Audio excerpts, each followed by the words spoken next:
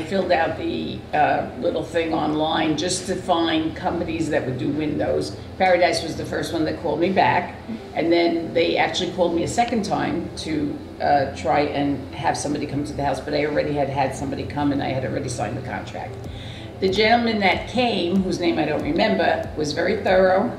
He uh, explained everything to me. He told me all my options in terms of the types of windows and the types of frames.